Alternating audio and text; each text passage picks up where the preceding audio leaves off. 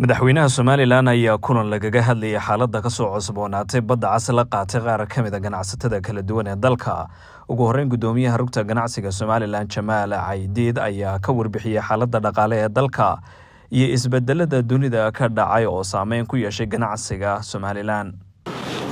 Waxaan ugu horraysiinayaa inaan ka yar warramo dhaqaalaha guud ee caalamka iyo ka innaguba aynu marayno intii yukrain dagaalkeedu bilaabmay dowladihii wax soo saari jiray ee wax soo saarka lahaa dunida ayaa isqabsaday.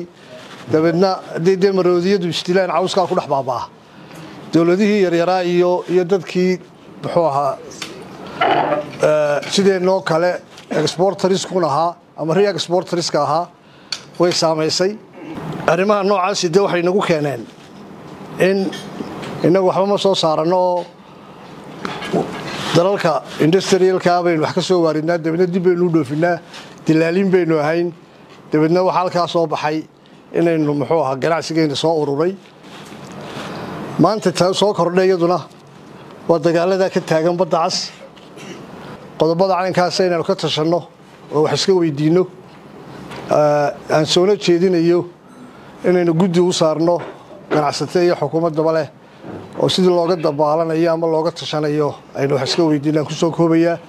Qaar ka mid a ganacsatadii ka soo qayb galay kulankan ayaa ka hadlay xaluhelidda dhibaatada dhaqaale ee laga dayrinayo.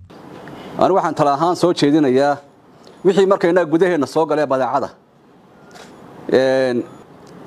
Waxna waa waxyaabo innagu aynu maarayn karo waxaan markaa tala ahaan soo jeedinayaa wixii dee inaga baxsani dee inaynu dadaallo howlgal samayno ayaa fiican. Wixiise innagu aynu maarayn karrayno haasta inaynu innagu dee aynaan sababu noqon ayaa wanaagsan. Waxaan is leeyahay taa cusub ayna saamaysay waa mid ina saamaynaysa oo laga yaabo inay dee siday u socoto xaalad badan oo inaynu ka sii tashanaano ay maaquul tahay. Waxaan is leeyahay adduunyadu dee meel adag bay maraysaayo inay sii durugtana wax dhici kara.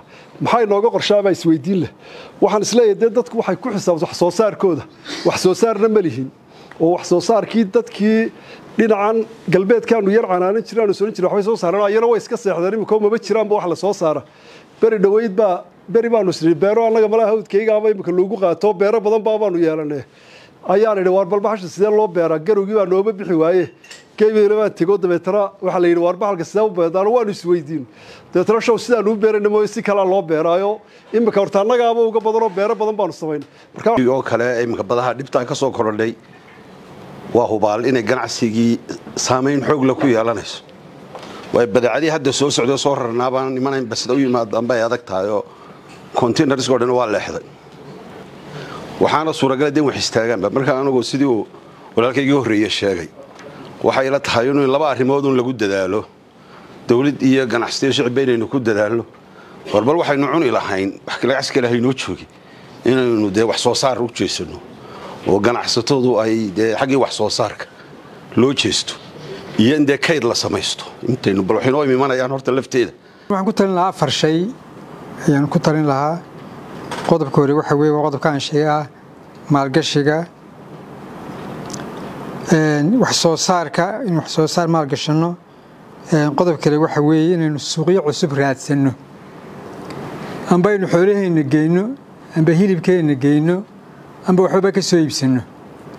Iminka in yaroo kooban baynu waxu diraa suuq yaroo kooban baynu waxu diraa weliba xilli gaara inuu diraa waxaynu u baahnay arrinkaa runtii inaynu wax ka bedelo ayaynu u baahannahay waxaa kaloo loo baahan yahan laga maarmaynin oo qodobka afraada in la iska kaashado xagga nabadda. Saldhigga horumarka waddanku waa nabadda. Haddii aan nabad jirin ama nabadba jirtee laakiin dareen uu jiro nabadgelyo xumo. Runtii had iyo jeer waxaan idhahdaa lacagtu waa fulay. Haddii meel uu dareenka ka jira aanu ahayn mid nabadeed. Lacagtu way ka carartaa tadabadday ka imanaysaana ku iman mayso ta halkan taalaana nin walba jeebkiisu iskaga ku xeraysanaya birkimadu hoos dhiganaya marka horta nabadda ka wada shaqayno maadaama asalka ay tahay waxaan runtii ku bogaadinayaa ganacsatada doorkii ay ka ciyaareen nabadayntii cali saahid baan ku bogaadinayaa waxaan ku boorinayaa inay sidaas oo kale qayb uga qaataan nabadgelyada ceelaf weyn iyo meelaha kaleba haddaynu nabad hello wax waliba waa suurtagal dhinaca kale wasiirka maaliyadda somalilan doctor sacad cali shire ayaa sheegay in colaadaha ka jira dunida inay saameyn ku yeesheen ganacsigii. Waxaanuu soo jeediyey in maalgashi lagu sameeyo wax soo saarka dalka iyo in suuqyo cusub la raadiyo iyo sidoo kale in iskaashi laga wada yeesho nabadgelyada. Ugu dambeyn madaxweynaha somalilan ayaa soo jeediyey in guddi isku dhaf ah la magacaabo oo ka kooban xubno ka socoto xukuumadda iyo ganacsatada oo ka soo tala bixisa xaaladda dhaqaale ee dalka iyo sidii looga samata bixin lahaa dhibaatada hadda jirta. Idinku waxaa noo sheegteen oonu hadalka idinku hormarinay horta wixii tala ad haysaan eed nooga fara dhuudhuubantihiin oo u badan dhaqaalaha. Inaad dareenkiina na siisaan kiina si fiican baa nin waliba tagaba sharaxno intaa aad tidhahdeen waa inoo guddoon waa ina noo taala xagga kale sacad iyo wasaaradda ganacsiga oo wasiirka maqayo wasiirka joogo iyo baanka institutionska dhaqaalaha qaabilsan baa tala wadaagi leedahin had iyo jeer oo istaqaaniin oo isla fahamtaan howlaha intaa hore ayaa ka tidhahdeen ganacsiga iyo iskaashiga dowladda. Intaa waa soo dhaweynana waa u baahanna ganacsada intaa annagu waa soo dhaweynayna waana intaan u baahannahay taa waxaan ku soo koobayaa sida aad tidhaahdeen guddidii ha loo saaro. Annaga guddida cidda naga imanaysa sacad baa u odaya kolba tiradii loo baahdo. Koley labada wasaarood waxay ka hanayaan madax iyo baanku iyo ciddii soo raacdabe idna inaad soo xushaan guddidii laysu yimaado. Bal halkee dhaqaalihii waa kanoo waxyaalo badan baa dhacay sidee la yeelaa? Wadajir inuu soo saaro waa inoo guddo marka idinka la isugaya saacadu waa koordinatorkeen inta horena halkii arigteen baa dhigay.